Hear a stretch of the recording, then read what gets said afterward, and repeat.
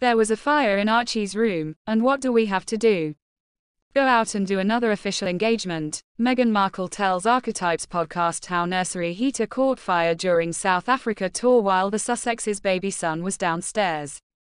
First episode of Meghan Markle's Archetypes podcast has finally been released.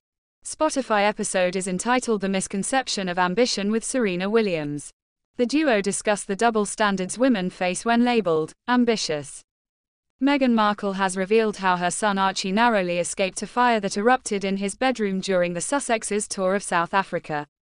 Speaking in the first episode of her Archetypes podcast, which was released today, the Duchess, 41, said the boy's nanny had taken the four and a half month old downstairs with her when she went to get a snack. It was then, while herself and Prince Harry were at an engagement, that the heater in his bedroom went ablaze, setting the nursery on fire. Meghan revealed, in that amount of time that she went downstairs, the heater in the nursery caught on fire. There was no smoke detector.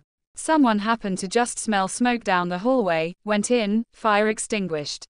He was supposed to be sleeping in there.